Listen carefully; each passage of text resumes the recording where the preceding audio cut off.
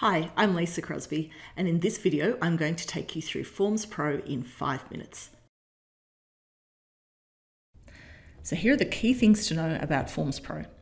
You can use it to create both surveys and quizzes. Super easy user interface, drag and drop, create your survey within minutes. You can branch your questions so that it skips ahead to the quest different questions depending on previous answers. It comes with out of the box reporting, which gives you sentiment analysis and insight without having to do anything at all. You can distribute your surveys in lots of different ways, including automation with Microsoft Flow. It can handle both tracked and anonymous responses, and all of your data is stored on the Common Data Service, which means that if you're using Dynamics 365, all of the survey responses can be tracked against the contacts in your database. So here we are in Forms Pro and getting started is as easy as clicking on the new survey button and then add new to start adding questions. You've got a range of different questions here. You can add multiple choice questions, text-based questions, ratings which allows you to do either a star or a number and you can choose the level up to 10 You've got a date option in there, ranking question, Likert question. You can choose how many options you have both vertically and horizontally there and choose your own labels. And the Net Promoter Score, single click, done, full Net Promoter Score functionality. You don't need to do anything else to make that work. One of the things I love about this is that it has some artificial intelligence going on in the background. So if I create a new survey here and give it a name such as event feedback, then it will actually pick up on what I've named the survey. And look at this, straight away it's suggesting answers for me. So it's giving me some suggested suggested questions here. I can just say add all, and that's it. I could be done with my survey as, as quickly as that. Just to show you a little bit more about that uh, artificial intelligence, if I go in here and create a new choice question, I could say, what city are you from?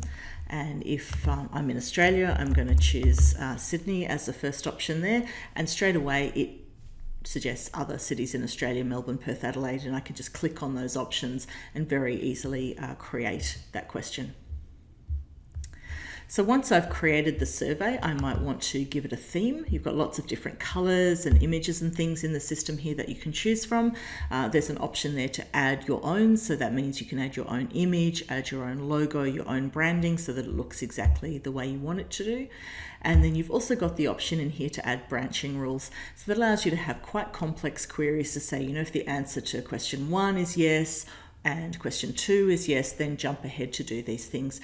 There's quite a lot of uh, conditional logic in there that allows you to do quite sophisticated things about jumping to different parts of the survey or showing and hiding questions depending on uh, answers to, to the previous responses. So once you've created your survey, the next step is to send it out. And you've got a number of options here. You can send out personalized emails, and that can be linked to your Dynamics 365 contacts, or you can upload contacts using an Excel uh, spreadsheet. Microsoft Flow allows you to automate sending out your survey on a trigger event, such as a customer service case closing. You can embed your survey in a website, create a link, or look how easy this is create a QR code. There it is, download, and you're done. So once you've created your survey and sent it out, you'll want to see the responses. And here's just the out of the box example, which shows you uh, what the responses look like.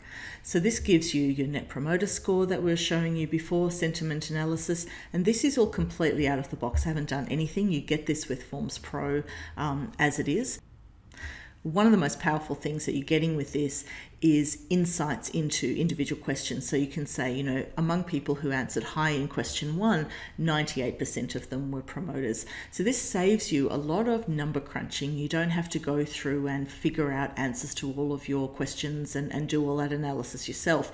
The system is actually doing that for you. So the other thing Forms Pro can do is create quizzes, exactly the same functionality we just saw, but within a quiz you just choose to say this is the correct answer and you can also allocate points to different answers so that you can weight items in the quizzes based on different points. So that's Forms Pro. Very easy to create a survey, give it your own look and feel, branching logic, send it out through a number of different methods, analysis out of the box, including some pretty sophisticated insights and sentiment analysis, and you can also create quizzes. How easy is that? That's Forms Pro in five minutes. Thanks for watching.